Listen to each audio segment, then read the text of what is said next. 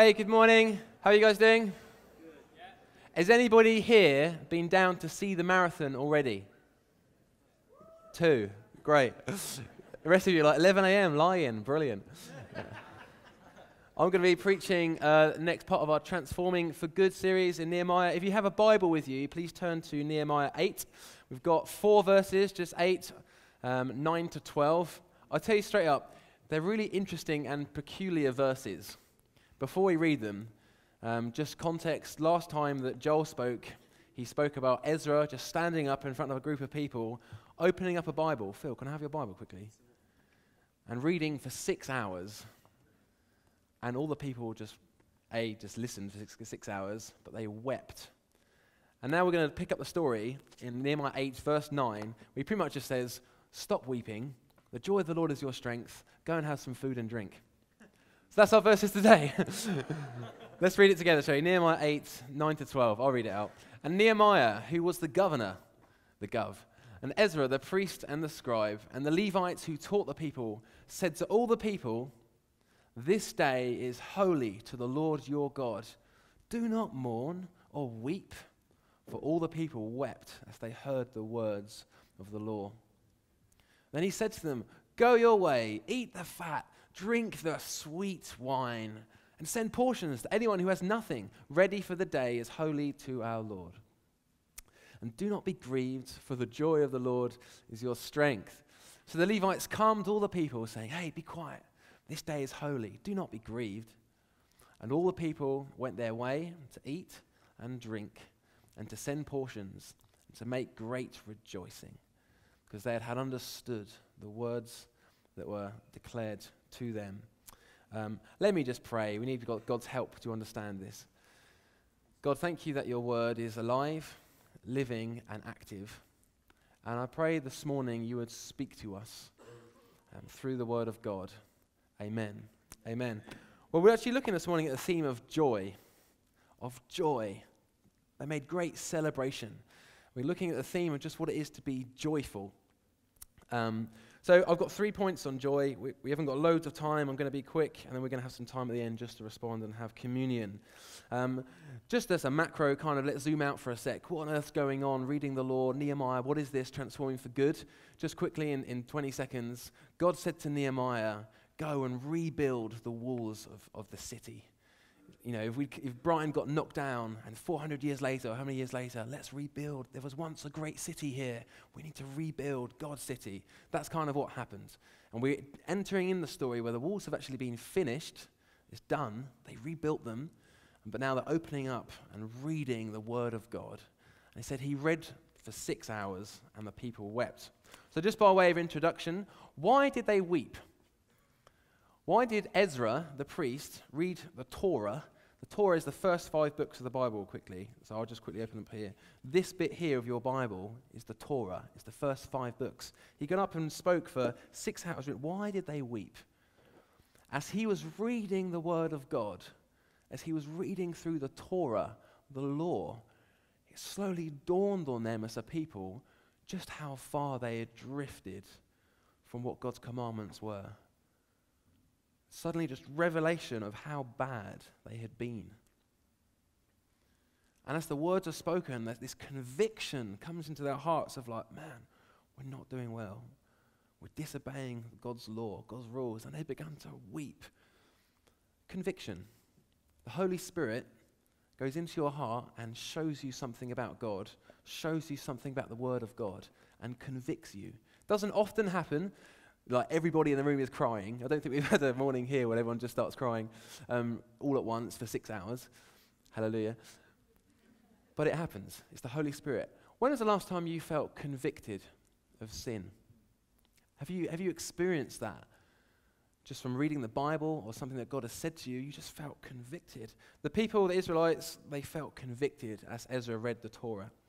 What did Ezra do? We read the bit, didn't we? He basically says to them, Do not weep. Why would he do that? That seems really backwards. Isn't this a really good thing? You're realizing your sin and you're weeping because of it. Why did he say, Do not weep? Is it because he's saying, Don't be silly? You know, it's not that bad. You don't need to weep about it. It's only God. No, he's not saying that. He's saying something far more profound. The Israelites only saw how they had fallen short of the law. And because of that, they saw their sin. But Ezra saw something far greater than that. Not just how they've fallen short of the law, but behind the law is a gracious and good God. They thought primarily the way I relate and connect with God is through obedience to the law. But actually, primarily, before that, it's God's grace and goodness to us. They saw sin. Ezra's like, no, no, no. Above that, he's a gracious and good God. And he says, the day is holy to the Lord. What does that mean? This day being holy. The day is holy to the Lord. This is the day that God has intervened. You see, the God who convicts of sin is also the God who saves sin. Amen? You see in the Word of God this weeping because of sin, oh, I'm weeping, and this joy because of forgiveness, often hand in hand. This repenting of, I've done bad, I'm a bad person, I've fallen short, but celebrating in the goodness and grace of God. They're two sides of the same coin. And the coin is the grace and goodness of God. So we're going to learn about just joy, joy in who God is, not in just falling short, not just in looking at how bad we are, but joy in the gracious character of God this morning. So, that's just by way of introduction. Three points. Number one is joy in repentance. Got two points on this. Joy in repentance. Repentance is that what when you've realized you've sinned, you've done bad, it's turning away and doing good. In that process, there's joy. Let me explain why. Number one, Jesus forgives and pays for our sin. I want us just to look at this in a horizontal, horizontal level before vertical. Um, I'm good friends with Phil here. Say if Phil did something really harsh towards me, he sinned against me. Um, maybe he just made a joke, but you know there's an edge to it, and it was really embarrassed me in front of people, and his heart was bad at it. He hasn't done this, don't worry. When someone sins against you, it's personal, it hurts. And I'm, i want him to say sorry to me. In fact, I, I feel like I hold something against him. And I feel like actually I want him to sort of pay it back to me. He owes me something. Or maybe you sinned against someone else and you realize you've done wrong, you say sorry to them, but in some way you want to kind of make it back to them. You want to sort of pay it back somehow. Maybe just act a bit better behind them, maybe just say a few words of encouragement. But when someone does something wrong against you, you expect there to be some kind of payment back, some kind of like apology, but more than just apology, some kind of sign that you're really sorry. And we pay for our sins. When we sin against God, God's a person. You sin against a person. It's the same with Him. I don't sin against a machine. You know, I don't sin just against a, a, a set of rules. No, behind that is a person. When you choose to go your own way and to disobey God, you're not just breaking rules, you're, you're breaking God's heart. I don't mean in a sentimental way that God's just emotional and fragile, but like it's against a person. And because it's personal, he will feel someone must pay for that. But the good news is, point one, Jesus paid for our sins. So let's look at this. It says in uh, Matthew 26, 28, don't worry, it's not going to come up on the screen. Jesus says, My blood is poured out for the forgiveness of sins. And it says in 1 John 1, verse 2, He is the atoning sacrifice for our sins, not only for ours, but also all the sins of the whole world. Um, by nature, we're not very good at taking responsibility for things that we do wrong. I just know growing up with two brothers, someone kicks a football into the roses. Who did that? He did it. no, he did it. We like to pass the buck, yeah? When it comes to our sins, Jesus, in saying these verses, is like, hey, for all of your sins, the buck stops with me. Father, instead of letting them pay for their sins, I will pay for them. I will pay for their sins. And so, all these things that you've done wrong against God, and this sense of like someone must pay for this, Jesus is stepping into that gap and saying, I will take the punishment, I will pay for them. So, on the cross, Jesus became your sin. He became sin. And in that moment, when the Father looks down at his Son, he doesn't just see his perfect Son anymore, he sees all of our sin, and it's like he's saying, I blame you. This is the truth of the gospel. This is what Jesus has done for us. And you know, when someone sins against you, actually, it makes you angry, kind of rightly so. Well, it's the same for the Father. And not just for one or two sins, like Phil telling me something wrong, like all of the sins of all the world, Jesus takes upon himself. And that anger the Father has, the Bible says he, he took out on Jesus. This righteous, good anger. You know, it's not a wrong anger. He took out on his Son, Jesus. And so Jesus there on the cross absorbed the wrath of God for our sin. Why? He's paying for our sins. He's paying the punishment for our sin. Why is that really significant when it comes to forgiveness? I'll tell you why. When you sin, you do something wrong, you repent, you come to God, your natural instinct is that you want to start paying God back somehow. You say, I'm really sorry, God, I'm sorry. Then you start to say things like, God, I'm, I'm really going to do well now this week, and I'm, I'm going to learn to read your Bible, I'm going to pray a bit better. What are you doing there? That's coming out of a heart of wanting just to pay back, to show that you're sorry. Jesus paid it. Maybe you say something like, God, I'll, I'll never do that again. You're making a promise of something you're not going to do because of what you did it. You're, you're trying to sort of pay back the wrong that you did. Jesus has paid it all. Jesus has paid all of it. So when God says, I forgive you, what he's actually saying is, you owe me nothing. You owe me nothing. Christ has paid for it. And the Christian life isn't one of some kind of like debtor's ethic, where we just basically, God's paid for everything and now we're in debt and we spend the rest of our life trying to pay it back. No, Christ has paid it all. Grace means you receive forgiveness. You receive it. Yeah, we want to live right for Him, but not from a heart of trying to obey Him, trying to pay Him back. He's paid for it. Amen? Amen. How do you, do you do you do that? It's good to ask the question. When you're repenting, we're talking about repentance, is it a joy filled repentance, or is it actually now I need to start paying God back? How does it look like for you? So subtle the way it creeps in. I'm, I'm deter- determined now to live for you. Jesus has paid it all. He says, You owe me nothing. Hallelujah. But the second thing Christ does, forgiveness, says, I will remember your sins no more. Jesus paid for our sins too, remembered no more. Not only does he choose, not only do we owe nothing, but he never brings it up. It's not like God's forgetful. No, no, he chooses not to bring it up. I don't know if somebody has really sinned against you, just a person, really hurt you and bothered you, and they've said sorry, and you know, it's kind of all okay, and you talk and it's sort of good, but inside you're still hurting. And in your head, it still comes up, you know, I can't believe they did to me. And sort of forgiven them, but inside you're, you're not. And it's really easy to go back and think about things that have happened to you, things that have been done wrong to you. When Jesus paid for your sins, the promise of the Father is, I will remember them no more.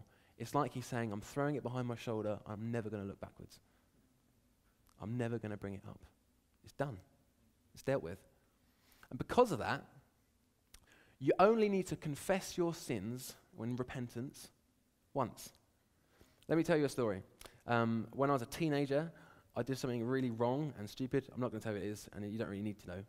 But it was, it was bad. And um, I was a young, young guy and wanted to grow in my walk with God. And I came to him in just tears of just, I'm sorry, I'm so sorry. And I repented and I felt him forgive me. It was wonderful. And I went on and, you know, that week played its way out.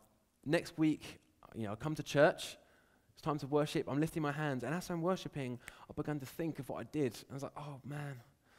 I just, I just sit down and, oh, God, I'm so sorry I did that. I was really wrong. And God, I'm sorry. Please forgive me. Will you forgive me? Yeah, great. Okay. And you move on. And later on that week, I'm going to spend some time in God with prayer. And I'm beginning to pray. And it just comes into my head again of how I let God down, of that thing I did a few weeks ago. I'm beginning to, oh, oh, it's come up again. God, I'm so sorry. Please forgive me. And it was about the third or fourth time, I was literally in tears. Um, and I just felt, I was just saying, God, please forgive me for that sin. And I almost felt him say, like, what sin? And he's like, you know, I choose to remember your sins no more. The first time you confess, it's dealt with, it's gone, it's thrown behind him. I'm coming to God with this big trouble. It's like, what? It's gone, it's dealt with. Christ has paid for it. I don't even know what you're talking about, son. Remembered, no more. Um, it's like someone in my small group described it like this once. We're talking about the way God forgives us. Um, it's like, you know, you have a file on your desktop, on your computer, Maybe you have a file on your desktop, a Word document or something. If you want to get rid of it, what do you do? You drag it to the waste paper basket, or you do Command Shift if you're on a Mac, you like your shortcuts. But you can put it in the waste paper basket, it's gone. Great. But you can still open up the waste paper basket and drag it out. You can still open it and look at it.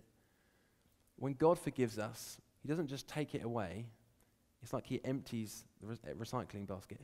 It's gone, it's untraceable. So when you confess your sins to Him, you know you've done wrong, you're repenting, it shouldn't just end in this place of I'm so bad, but actually you're trusting in Christ. He's taken it, it's gone. The Father's dealt completely with it.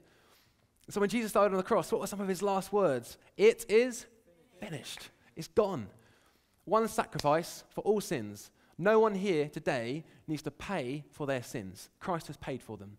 No one here today needs to worry about something they've already, already confessed to him. He's dealt with it.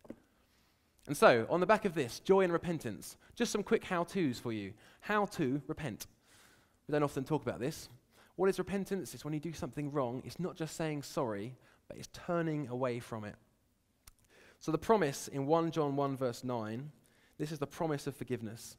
It says, If we confess our sins, he is faithful and just to forgive our sins and cleanse us from all unrighteousness. For me, this is probably one of the most quoted verses in my prayer time. if I confess, thank you, God, you said, if I confess. The promise there is if you confess your sins, He is faithful to forgive them and cleanse you from unrighteousness.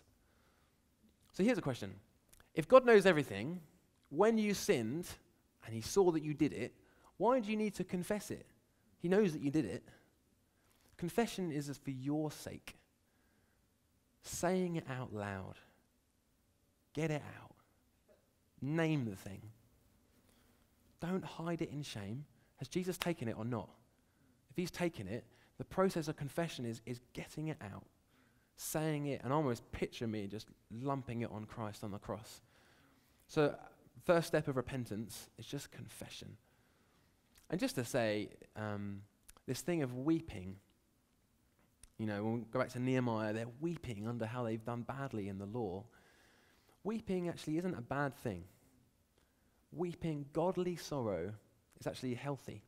It's a sign that you know, because it's a personal thing, you've let down a person, not a computer or just an algorithm, you've let down a person. Sorrow is actually quite natural, isn't it? And so a godly sorrow of just, oh, I've blown it. God, I've let you down. And even if it leads you to tears, that's not a bad thing. That's a healthy sign. But the Bible talks about having a worldly sorrow and just leaving it there, just always moping and how bad your sins are. No, no, no. Godly sorrow is you come to Christ, you confess your sins, and you ask Him for forgiveness. How wonderful is this promise? It says, if you confess your sins, He is faithful and just to forgive. There's never a case of, too bad, I'm not going to forgive that one. No, He's faithful. If anybody's going to forgive, God's going to forgive. He's faithful to forgive your sins. Hallelujah. This is good news. Um, and He's just to do it. What does that mean? Just. God forgiving your sin isn't like, oh, okay, it doesn't really matter. Good point. I'll forgive you. Let's just kind of sweep it under the rug. Not really a big deal. That's not justice. Give me a break. What kind of God's that? No, he, when He exercises forgiveness, He's punished His, his Son, Jesus in forgiving you, he's actually exercising justice. And because he's a just God, in forgiving you, he gets glory for being a just God. So, in the process of forgiving you, God gets glory. Did you catch that? When you come to Christ and say, God, I've, I've sinned, I repent, you're trusting in Him, you're actually glorifying Him. That is an act of worship. Saying, Jesus, your cross is enough for me. I confess this, and you receive forgiveness. And God gets worship because you're trusting in the cross. If you're not doing that, what you're actually saying is your cross is good, but not good enough for my sin. It's dishonoring to the cross. Jesus' cross has dealt with all of our sins. So, Jesus paid for all of our sins. Jesus remembers them no more. How to repent? You confess your sin, and then you receive forgiveness through trusting in the cross. Don't be tempted to try and pay back. Receive it.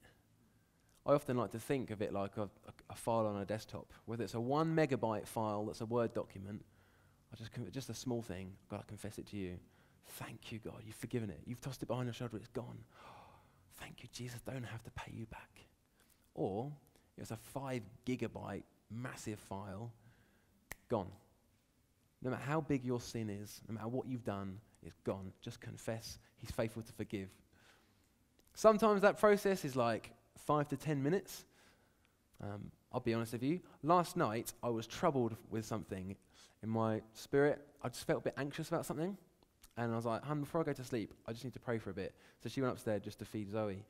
And um, I just came before God. And, and, and within a few seconds of just praying, I was aware um, that the thing I was troubled about was actually some sin. I was actually, in it all, I was just being quite proud. That's what's causing me to be anxious. I was like, oh man, that's what it is. It's just my pride. And then it went to like, oh, God, I've been proud. It began to dawn on me like, God hates pride. God, I'm so sorry. God, I, I've been proud in this situation. My goodness me. I've just, all the things you've done for me, all of your goodness right now is just about me in this situation. God, I'm sorry. Please forgive me. And as I come to the cross, what do I find? I find joy. I find a Savior who forgives me. That was a process of about 10 minutes. I got up from my couch upstairs just with a beam on my face. You know what? It's dealt with. Jesus has paid for that pride. I never have to confess that sin ever again. It's gone, it's in the past. That's a five, ten minute thing. Sometimes it's five, ten seconds. Sometimes you just walk along the street or you just you sin in your head something and you're like, oh, oh man, I just shouldn't have thought that. In that, in a few seconds, you have to get on the street and kneel down and cry. Just like, oh God, that was really silly. you've got like, yeah, just get on your knees and go mental. I, am sometimes I cycle to work and you just have a thought and it was sinful. In 10 seconds, I'm like, God, I just bring that to you. I confess that pride, whatever it was. Um, God, please forgive me. Thank you, Jesus. It's gone. 10 seconds later, just carry on. And I'm full of joy. I'm forgiven because of Christ. But the point is confess your sin, repent, and find joy. Some of you are not very happy at the moment. And for some of you, it's because actually you've got lots of files on your desktop. Live with a clean desktop before God. Live with, living with unconfessed sin is not nice. Being holy, in terms of walking out your holiness, isn't somebody who never sins, they're the goody goodies. They're so pure, they never sin. No, no, that's not it.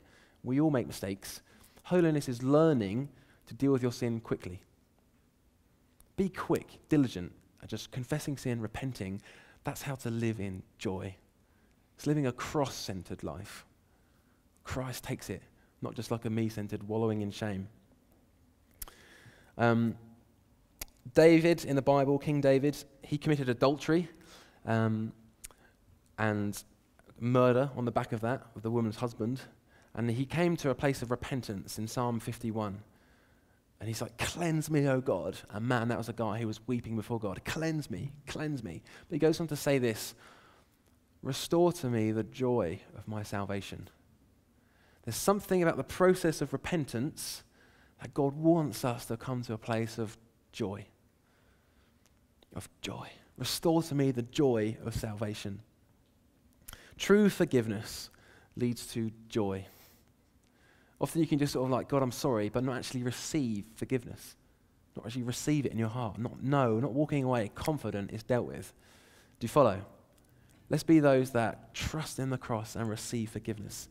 So, point number two joy gives us strength.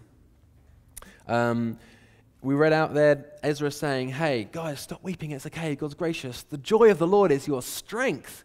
What does that mean? Let's have a look.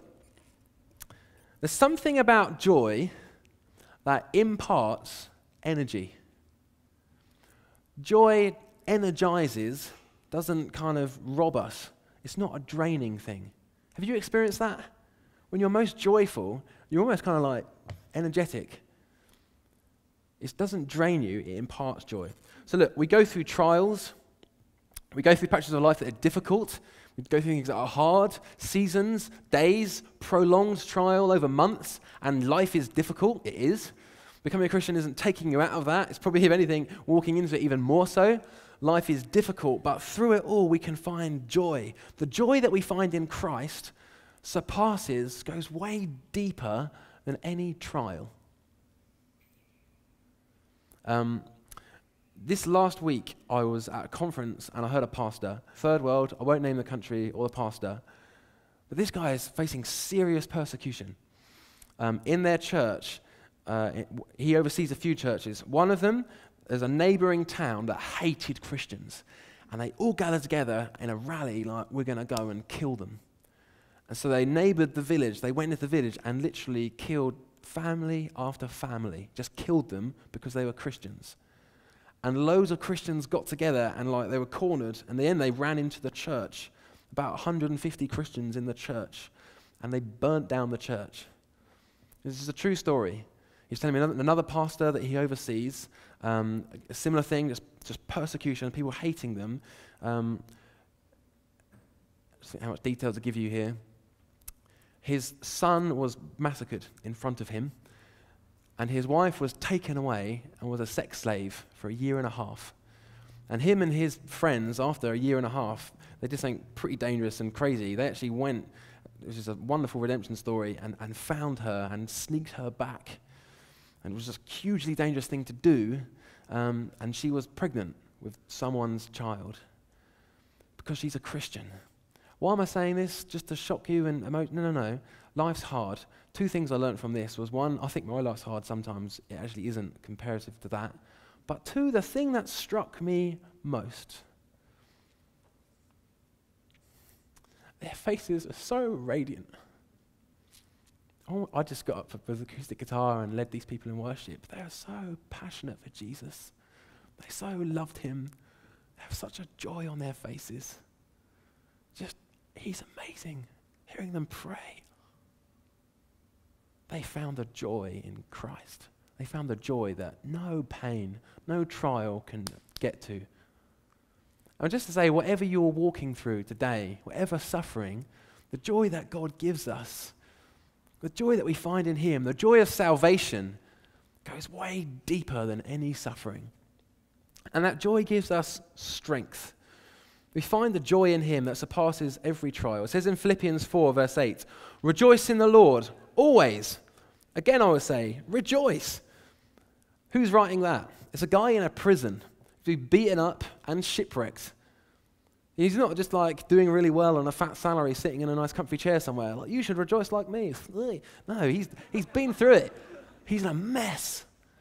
He doesn't say, hey, rejoice in the Lord except through suffering, because that's hard. You just need to cry and just look at your pain. No, rejoice in the Lord always. Coming from a guy in prison with, you know, hardly any food. Rejoice in the Lord always. He's not denying that life's hard. Jesus doesn't deny it's hard, and it's not bad to, to struggle and to find it hard, but in all of that, to come to a place of coming back to Him, to His character, to His grace, to who He is. And you read often in the Psalms, just Psalms of real lament God, I'm finding this hard. Where are you in this? Why have you forsaken me? Why have you left me? And Psalms are songs. but they often sing stuff like that. But it's healthy too sometimes. But they often end up in that place of, but still, I will remember your goodness. Still, I remember your faithfulness. When you don't do that, when you just look at your suffering, it's draining, it's exhausting.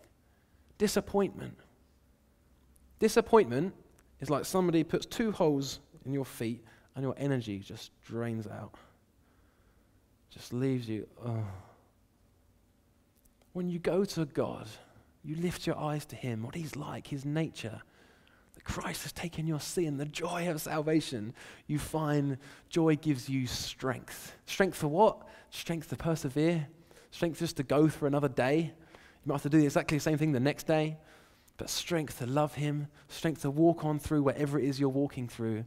In God, there's joy, there's happiness in it all. So, joy gives us strength.